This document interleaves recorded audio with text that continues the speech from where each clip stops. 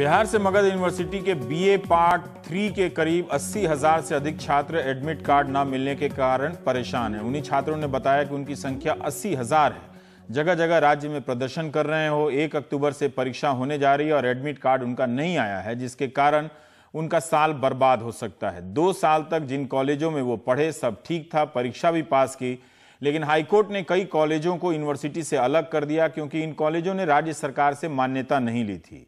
जिसमें छात्रों की क्या गलती है। मगर हाईकोर्ट ने छात्रों के हितों को ध्यान में रखते हुए ये व्यवस्था दी कि इनका भविष्य बर्बाद ना हो, इसलिए यूनिवर्सिटी दूसरे कॉलेज से जोड़कर परीक्षा ले ले। मगर मगर, मगध यूनिवर्सिटी के छात्र लिख रहे हैं कि उनका सत्र पहले ही सात महीने लेट है।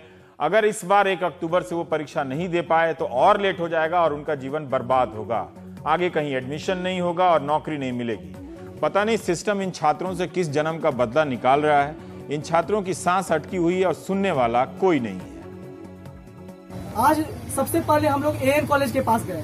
वहाँ पे लड़का लोग बीसी का पुतला फूका कुछ निष्कर्ष नहीं निकला। फिर वहाँ उसके बाद सचिवालय आए। सचिवालय का चीफ सेक्रेटरी जो होता है बिहार का, उससे मिले। वहाँ भी कुछ हम लोग को मिलने नहीं दिया गया। कहा कि आम लड़कों लोगों से आम आदमी से नहीं मिलते हैं सचिवालय के मुख्य अधिकारी आज के दिन। फिर बचे कुछ भाई लोग ने निर्णय लिया कि राज्यपाल के पास जाएँगे। राज्यपाल के पास गए तो मुख्य सचिव राज्यपाल के, उन्होंने हमें आपको शॉर्ट में डायरेक्टली बता देते हैं। उन्होंने हमें डायरेक्टली कहा कि इसमें राज्यपाल कुछ नहीं कर सकते हैं, नहीं, राज्यपाल ऑफ़िस कुछ कर सकता है। जो भी करेंगे बीसी करेंगे और कॉलेज के प्रिंसिपल करेंगे।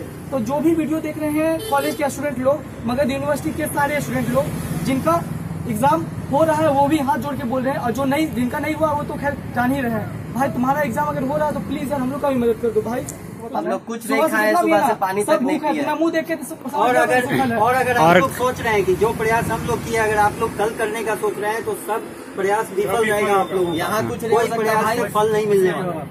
हमने आज राज्यपाल के सचिव से मिला जाकर पर्सनली और सब लड़के के मतलब जैसे सहानुभूति थी उसे हम लोग रखे। उन्होंने बोला कि यहाँ कुछ करने से कुछ नहीं होगा। आप लोग जाके राज्यपाल जाके बीसी के पास कुछ करें और तभी कुछ हो सकता है। जनता की भी स्थिति, नौजवानों की स्थिति भी अजीब हो गई है।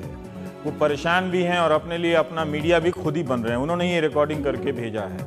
उत्तर प्रदेश में सत्तर हज़ार प्राइमरी टीचर की भर्ती में इतना बड़ा घोटाला हुआ है कि उसकी चर्चा टीवी चैनलों पे नहीं हो रही है, क्योंकि फर्जी मुद्दे बहुत हैं, बहुत सारे। 122 नंबर पाने वाले टॉपर को 22 नंबर देकर फेल कर दिया गया। फेल हो गए 20 लोगों को टीचर बना दिया गया।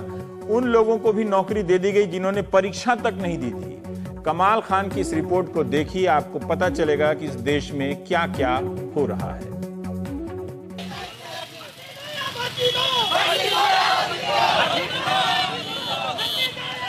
अब वे भर्ती दो या अर्थी दो के नारे लगा रहे हैं, यानी नौकरी दो या मौत दो। इस इम्तिहान में सिर्फ़ ऐसा नहीं हुआ, किसी की थोड़ी बहुत मदद कर दी हो। यहाँ तो टॉपर को ही फेल कर दिया।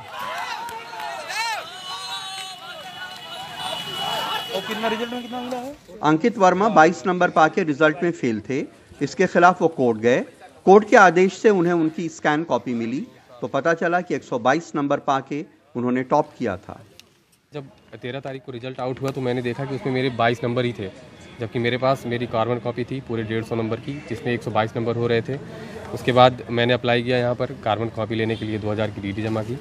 यहाँ से कोई सुनवाई नहीं हो रही थी तो हमने कोर्ट में केस किया।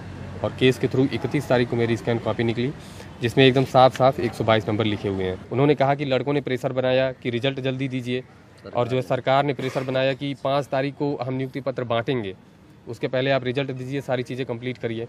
तो प्रेशर के नाते उन्होंने बताया कि गलतियाँ हुई। ये ऑब्जेक्टिव टाइप इम्तहान था, जिसमें एक एक नंबर के डेढ़ सौ सवाल पूछे गए थे। जनरल और ओबीसी को पास होने के लिए सड़सठ नंबर और एस सी के लिए साठ नंबर ज़रूरी थे। इसमें अंकित जैसे तमाम हैं जिनके बेहतरीन इम्तिहान के बावजूद उन्हें फेल कर दिया गया। तेरह अगस्त 2018 को रिज़ल्ट घोषित किया गया जिसमें मुझे चौवालीस अंक देकर फेल किया गया। और जब मैंने स्कैन कॉपी 8 सितंबर को निकलवाई तो उसमें मेरे 104 नंबर थे। तो मेरी सरकार से और पीएनपी सचिव महोदय से यही निवेदन है कि रिज़ल्ट को संशोधित करें और हम लोगों को नियुक्ति प्रदान करें। मेरी वाइफ ने अड़सठ हज़ार पाँच सौ सहायक अध्यापक भर्ती में एग्ज़ाम दिया था। जिसमें उसको 56 नंबर देकर अनक्वालिफाइड कर दिया था।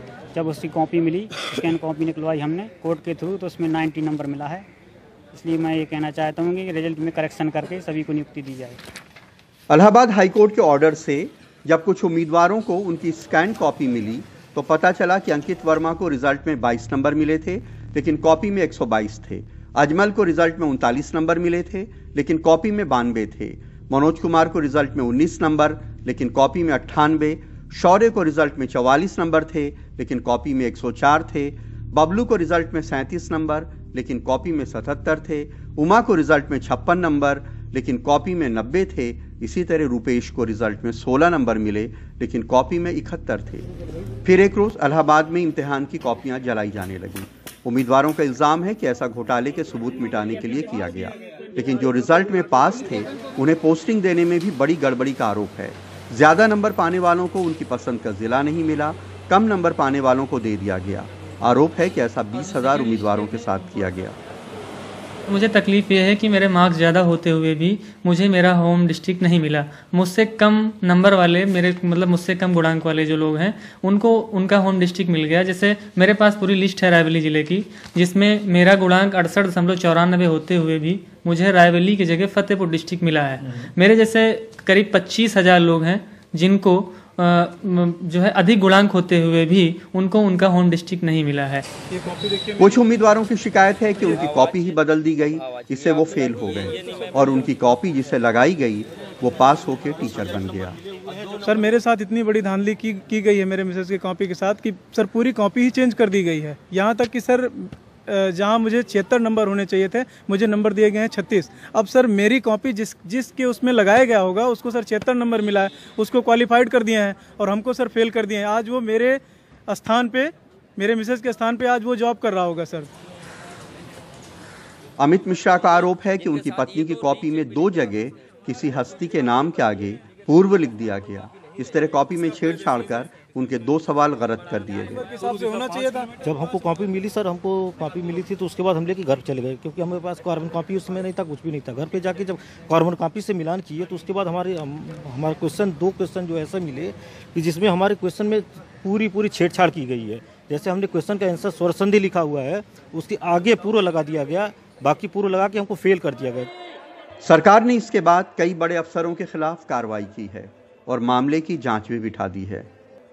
सरकार ने इसको गंभीरता से लेते हुए इस पे एक रिपोर्ट भी तैयार कर रहे हैं और उस पे जो भी आ, मैं ये कह सकता हूँ उनके हित में रहेगा उसमें मगर साथ साथ कानून को भी देखते हुए लॉ को भी देखते हुए उस पर निर्णय ज़रूर किया जाए किसी पढ़ने से जान चुराने वाले ने ये मुहावरा कभी बनाया होगा कि पढ़ोगे लिखोगे होगे खराब खेलोगे कूदोगे बनोगे नवाब। लेकिन यूपी में आज ये सच साबित हो गया है। ये पूरा मामला पढ़ने वाले छात्रों के भविष्य के साथ भी खिलवाड़ है और टीचर बनने के टैलेंटेड उम्मीदवारों के भविष्य के साथ भी। इलाहाबाद में नितिन और लखनऊ में कैमरामैन राजेश गुप्ता के साथ कमाल खान, एनडीटीवी इंडिया।